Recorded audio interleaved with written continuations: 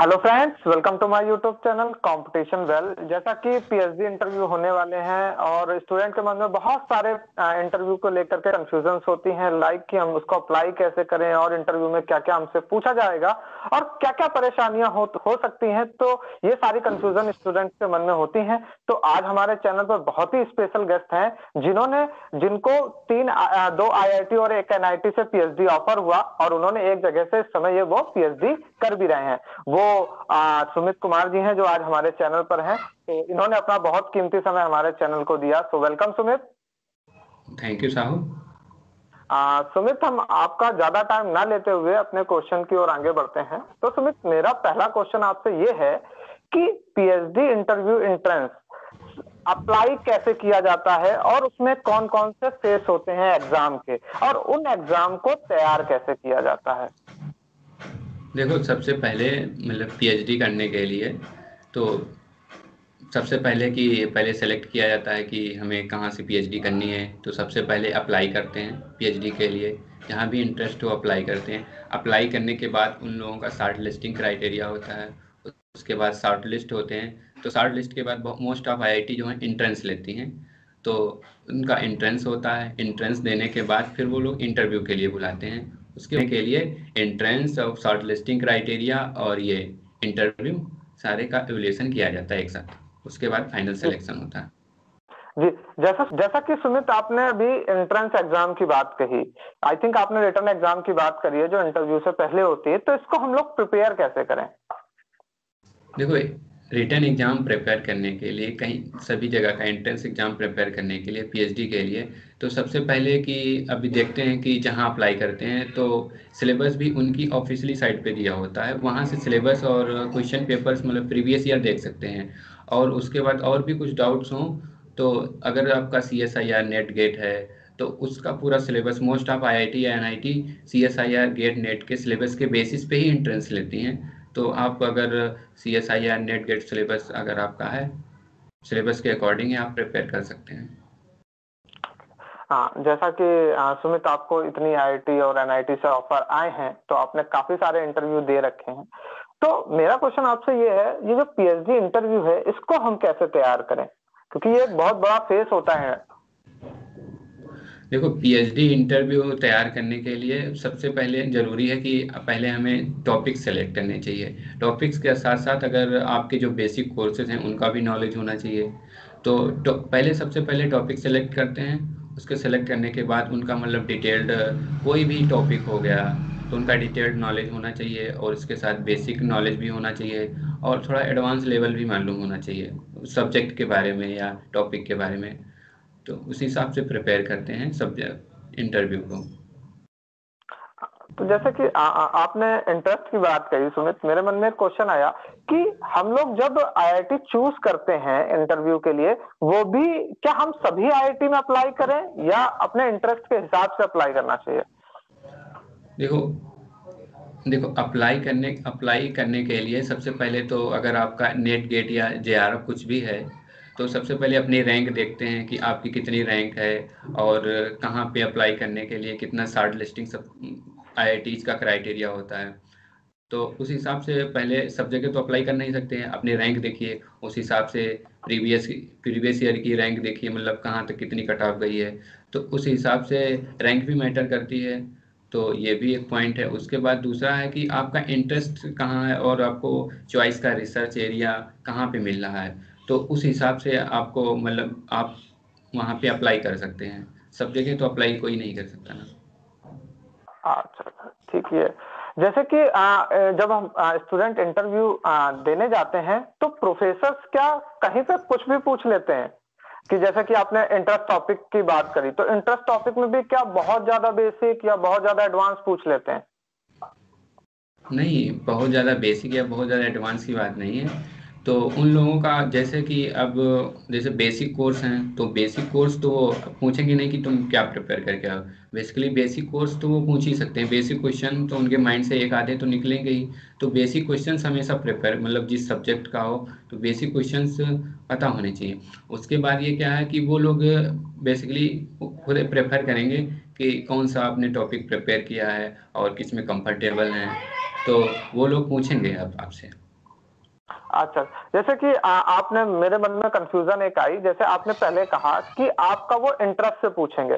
तो जैसे कि वो तो ज़ाहिर सी बात है एक टॉपिक का होगा कोई ना कोई कि और हाँ। जो। हम लोग सी एस आई आर और गेट में बहुत सारे टॉपिक को पढ़ के जाते हैं क्या वो उन टॉपिक से भी हमसे पूछ सकते हैं? या सिर्फ़ जो हमारा इंटरेस्ट टॉपिक होता है उसी से ही पूछते हैं?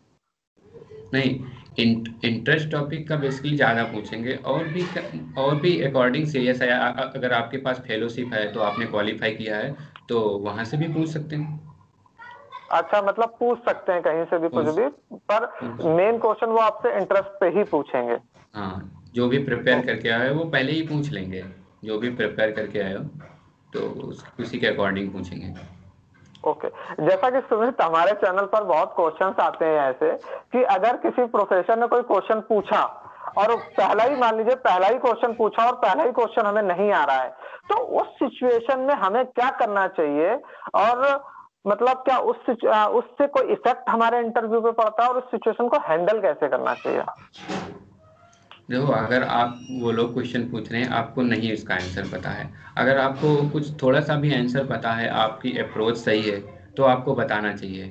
अगर आपका अप्रोच सही है, ठीक है, वो लोग हिंट भी देंगे। अगर तुम अभी बिल्कुल भी नहीं आ रहा है तो वो लोग हिंट भी देंगे। अगर तुम इनकी हिंट पकड़ पा रहे हो तो उसका जो अप्रोच होगा, उन उन पॉजिटिव इम्पैक्ट पड़ेगा उनके पर मतलब तुम्हारा जो एवोल्यूशन होगा, वो पॉजिटिव होगा। अगर आपको बिल्कुल भी नहीं पता है और हिंट दे रहे हैं, तब भी नहीं आप पकड़ पा रहे हैं तो आप मतलब मना कर सकते हैं कि, सर आई डोंट नो या, सर, नहीं पता। तो उससे क्या है, अगर आप गलत जवाब दे रहे हैं तो उससे निगेटिव इम्पैक्ट पड़ सकता है। लेकिन आप अगर मना कर दे रहे हैं कि, सर आई डोंट नो या, मुझे इसके, मैंने भी नहीं पढ़ा, इसके बारे में कोई आइडिया नहीं है तो नेक्स्ट क्वेश्चन की ओर मूव कर जाएँगे और उसका इम्पैक्ट भी कोई पॉजिटिव ही पड़ेगा निगेटिव नहीं हो सकता। अच्छा। जैसा कि सुमित हमारे चैनल पर बहुत ऐसे क्वेश्चंस आए कि सर मुझे वहाँ लैंग्वेज प्रॉब्लम होती है। कई लोगों को इंग्लिश लैंग्वेज प्रॉब्लम होती है। तो आपने तो ज़ाहिर सी बात है इतने इंटरव्यू दे रखे हैं और इतनी जगह आप सिलेक्ट हुए। आपको क्या लगता है लैंग्वेज का कोई पीएचडी इंटरव्यू में इफ़ेक्ट पड़ता है? हम्म, मेरे हिसाब से लैंग्वेज इज़ नॉट बैरियर मतलब लैंग्वेज का कोई इशू नहीं है क्योंकि लैंग्वेज का कोई इशू नहीं आप वहाँ अगर लेकिन आप कोशिश करें, ज़्यादा से ज़्यादा आप English term English word use करें इंग्लिश ही बोलें, क्योंकि आप अगर इंटरव्यू के बाद क्वालिफाई हो जाते, आगे आपको इंग्लिश में ही सारा सब कुछ करना है और इंग्लिश में ही आगे बोलना है। तो आप उसमें अगर कहीं फंस जाते हैं तो आप हिंदी यूज़ कर सकते हैं मैक्सिमम हिंदी भी बोल सकते हैं, लेकिन आप ज़्यादा से ज़्यादा ट्राई करें कि आप इंग्लिश ही वर्ड यूज़ करें और कोशिश करें लेकिन लैंग्वेज इशू नहीं होता है कोई इसका कोई इम्पैक्ट भी निगेटिव नहीं पड़ता है। लैंग्वेज आप कोई भी प्रेफर करते हैं जिसमें कंफर्टेबल हो वो लैंग्वेज यूज़ कर सकते हैं। इंग्लिश भी बोल सकते हैं हिंदी भी बोल सकते हैं।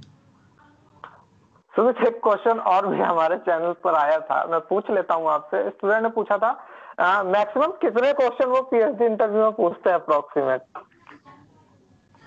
देखो मोस्ट ऑफ़ आईआईटी में इंटरव्यू या एनआईटी में इंटरव्यू अप्रोक्सीमेटली थर्टी मिनट्स चलता है। तो उसमें से अगर thirty minutes minimum thirty minutes होता है और कई आइजर्स में होते हैं तो उनका फोर्टी फाइव मिनट्स तक इंटरव्यू चलता है। तो उसमें अगर दो तीन टॉपिक होते हैं जब जैसे पहले अभी शुरुआत में बेसिक से स्टार्ट करेंगे। बेसिक से स्टार्ट करने के बाद में थोड़ा अगर आप कंफर्टेबल हैं आप अच्छा बता रहे हैं तो फिर और, और आगे जाएँगे। फिर तुम तो थोड़ा एडवांस लेवल पूछेंगे।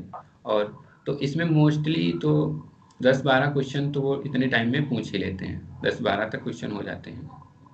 अच्छा सुमित एक पर्सनल क्वेश्चन मेरा भी है।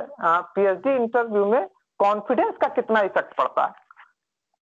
देखो पीएचडी इंटरव्यू में कॉन्फिडेंस होना बहुत ज़रूरी है। उसका अगर आप कॉन्फिडेंस हैं तो प्रोफेसर पे इसका पॉजिटिव इफ़ेक्ट पड़ता है।